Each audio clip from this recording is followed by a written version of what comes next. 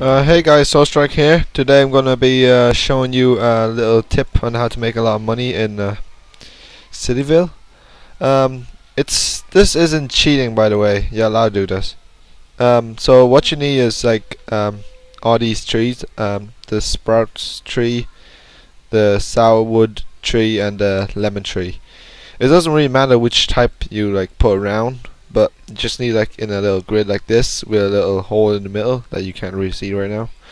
So what you want to do is um, use the move tool and you move one of these shop which is I have like a flower shop. You can use any shop as long as uh, it's not big it's like fits into this little frame here.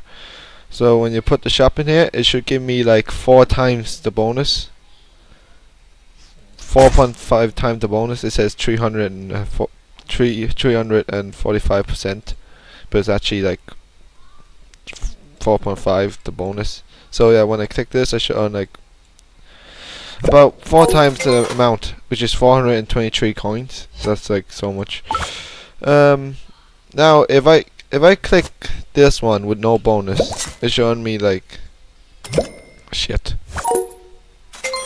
95 coin. So you can see like you get way more money if you do this way. Um, that's what I did before on my old account and I, I was a millionaire. And I quit because I got bored. Because like, um, yeah. Look at this. That is so much. That's like four times the normal amount. Uh, you can also use on these like normal house as well. I suppose um, this one give a lot of money.